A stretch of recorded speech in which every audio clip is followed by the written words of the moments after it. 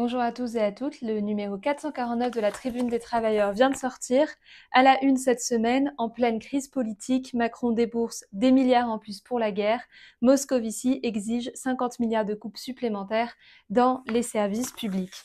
On lira en effet dans les pages d'ouverture comment, alors que la crise du régime s'approfondit, euh, la politique anti-ouvrière de Macron continue, elle, de s'appliquer. Tout d'abord, une politique anti-ouvrière parce qu'une politique de guerre, euh, c'est au centre des pages d'ouverture de cette semaine. Macron a annoncé à l'occasion du sommet de l'OTAN qu'il allait débourser 2,3 milliards d'euros supplémentaires pour la guerre en Ukraine, des milliards supplémentaires qui font partie d'une nouvelle aide collective de l'OTAN à la guerre en Ukraine dont le montant total est de 40 milliards d'euros. Et ce n'est pas tout.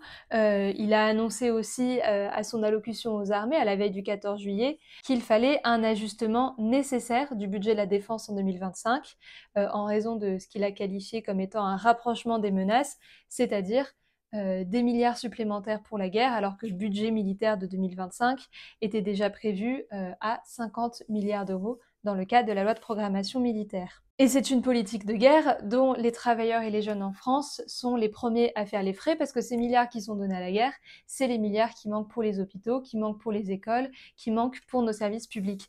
En effet, on revient dans les pages d'ouverture de cette semaine sur la question des fermetures de classes.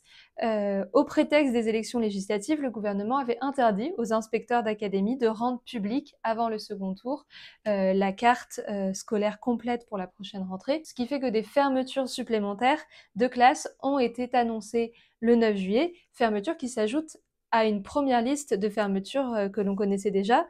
Donc par exemple, dans le 92, 207 euh, classes doivent fermer, dont 36 nouvelles fermetures qui ont été annoncées seulement à partir du 9 juillet. C'est aussi le cas en Seine-Saint-Denis. 76 euh, nouvelles fermetures s'ajoutent. Donc on est sur un total de 309 fermetures de classes en Seine-Saint-Denis. ce qui est sûr, c'est que la rentrée scolaire euh, s'annonce euh, d'ores et déjà catastrophique. Il n'y a euh, pas assez d'enseignants, il n'y a pas assez d'AESH et un grand nombre de classes sont déjà fermées.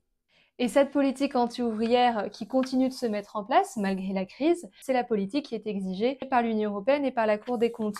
En effet, c'est Pierre Moscovici, président de la Cour des comptes, qui explique que réduire notre dette est une ardente obligation, ce n'est ni de gauche ni de droite, c'est d'intérêt général. La Cour des comptes exige de nouvelles mesures d'austérité pour répondre aux demandes euh, de la Commission européenne, euh, Commission européenne qui exige de la France 61 milliards d'économies d'ici à trois ans. Et alors qu'on ne sait toujours pas quelle sera la composition du nouveau gouvernement, ni quand cette nouvelle composition sera annoncée, eh bien à Bercy, Bruno Le Maire euh, prépare le, budget de l'année 2025. Le maire explique lui-même, on essaye de faire en sorte d'avancer le plus possible la préparation du budget pour permettre à n'importe quel gouvernement ensuite de faire un budget dans les temps. Et l'objectif du budget qu'ils sont en train de mettre en place, c'est de ramener le déficit à 5,1% du PIB en 2024, euh, c'est-à-dire euh, continuer les coupes budgétaires euh, et les coupes dans les services publics. Donc malgré la situation politique de chaos actuelle, malgré la crise au sommet des institutions, Macron continue d'imposer sa politique d'austérité et pendant ce temps-là, euh, c'est la division euh, du côté de la gauche. L'éditorial de cette semaine titre ainsi Ils ont reçu un mandat, ils lui tournent le dos et se conclut en disant Quel que soit le dénouement immédiat, la classe ouvrière a besoin de rester unie, forte, avec ses organisations pour faire prévaloir ses intérêts et ses aspirations et pour imposer enfin un gouvernement à elle, sans Macron ni patron. La lutte de classe, en effet, est au cœur de ce numéro, comme chacun des numéros de la Tribune des Travailleurs.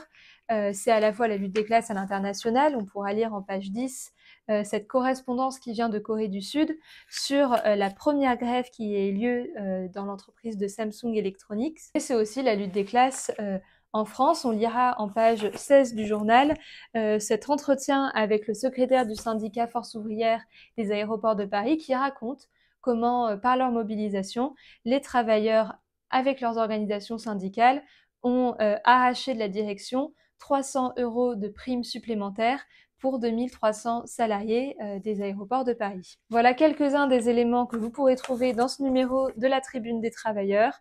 Euh, n'hésitez pas à vous le procurer et surtout à vous abonner pour recevoir les suivants.